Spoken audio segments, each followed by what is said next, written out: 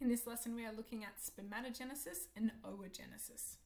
So this is still in the context of meiosis, but it says here that we need to compare the processes, so we need to understand their processes first.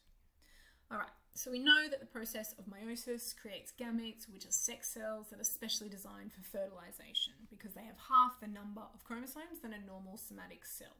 In humans, that means that instead of 46 chromosomes, they will have 23, so one of each of the homologous pairs and these will be the sperm and the egg uh, in biologically male and female people, respectively. Now, spermatogenesis and oogenesis are the processes by which sperm and eggs are created. And yes, they absolutely involve meiosis, but these are substantially different processes. And this is due to the major differences with regard to how the biologically female and male reproductive systems work. Sperm production occurs in the seminiferous tubules um, in the male. It's a kind of a cool process where a stem cell line matures amongst a layer of other cells until a sperm cell, as we know it, is able to swim away down the lumen or the opening of a tubule to deliver it to where it needs to be.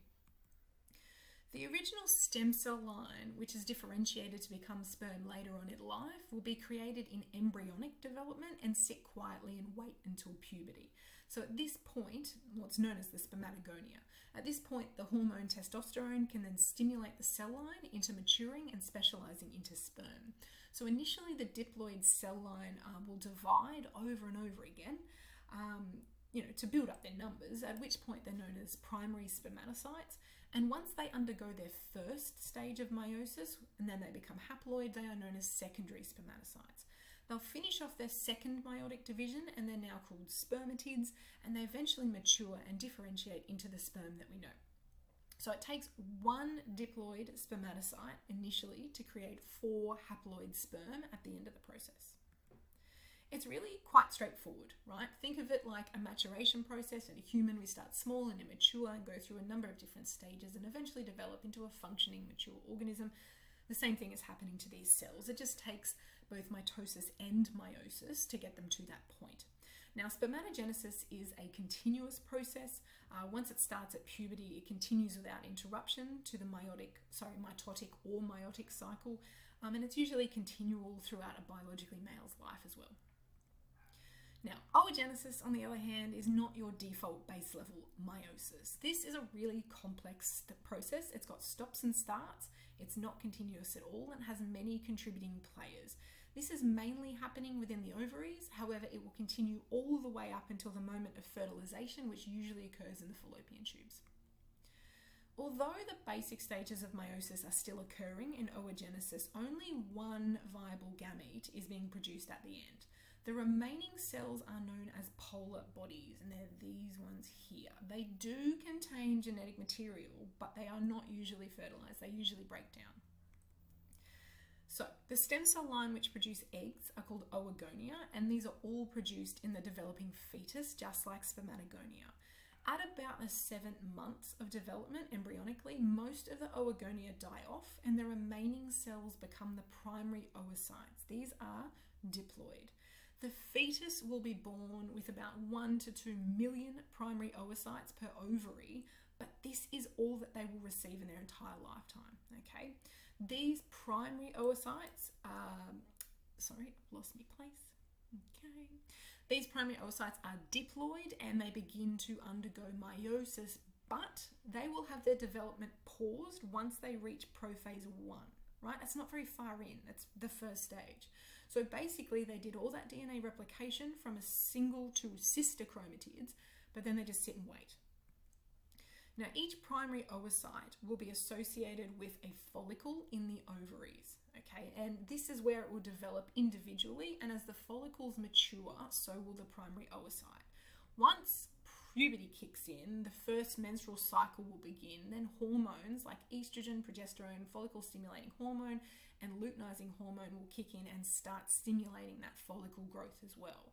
At the start of the menstrual cycle, the hormones stimulate about 10, excuse me, to 20 follicles to develop. Only one is going to mature um, and remain, and the rest will go on to produce hormones. So that's the menstrual cycle if you, if you can remember year eight science.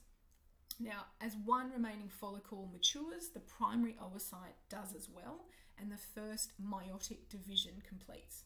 just the first. Now, usually this first meiotic division would begin with a diploid cell and produce two haploid cells. The primary oocyte does undergo, undergo meiosis, but when the final cytokinesis occurs, the chromosomes are evenly distributed, that's fine, but the cytoplasm is not evenly distributed, okay? One daughter cell will get almost all of the cytoplasm in that division, and the remaining cell is known as a polar body, right? So this is that end point of meiotic division one. Now, the new haploid cell with heaps of cytoplasm and the polar body are now part of the mature follicle.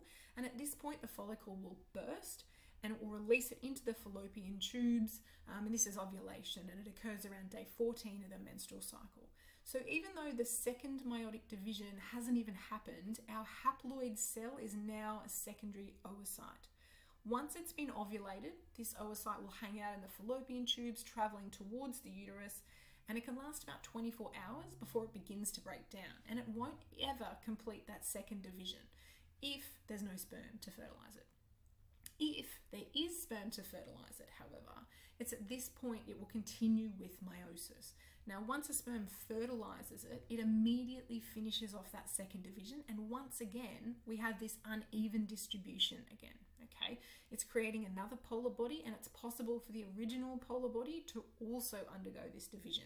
So sometimes you will see that there are two polar bodies produced, sometimes you will see that oogenesis produces three polar bodies. But at the end of the day, we have one comparatively large giant ootid and we have three little polar bodies. So remember, all the polar bodies still have the same number of chromosomes as the ovum. So in humans, it's 23, but it's the amount of cytoplasm that is different. And the reason this happens is because zygotes, uh, well, the zygote that results from the fertilization of the egg receives all of the cytoplasm. The sperm is basically a bunch of genetic materials with a tail swimming, right? So oogenesis conserves as much cytoplasm as it can through that mitotic division, sorry, meiotic division by funneling it all into one cell, which is really kind of clever. So our final division has just been done in time for the sperm to fertilize it, and oh, sorry, the sperm will fertilize it. The second meiotic division will finish just in time for the sperm's genetic material to rock up and fuse together with that egg's chromosome. So when one nucleus when is created, uh, a new nuclear membrane will also be created. So you can see that here, the final division in this video happens right there, and then a new nuclear membrane will be created and those two haploid nuclei will come together and form that one diploid zygote nucleus. So at a base level, these are really similar processes, but when you look at the finer details, they are massively different. This is the diagram straight out of Pearson. And to compare the processes, which is what our subject matter says we have to do, you've got to understand the processes first, but we can break down the similarities and differences here. So both processes form haploid gametes from diploid cell lines, both processes require the stem cell line to undergo mitosis first to boost the numbers before then proceeding with meiosis, and both processes are initiated um, by the hormones that surge during puberty. However, spermatogenesis produces four gametes from one diploid cell, whereas oogenesis is really only producing one viable gamete in three or two polar bodies. The stem cell lines which produce the gametes are different, spermatogonia versus oogonia, and importantly, oogenesis is a discontinuous process. It has stops and starts, but spermatogenesis produces gametes in one continuous development. So one tiny little point there, but quite a lot in it.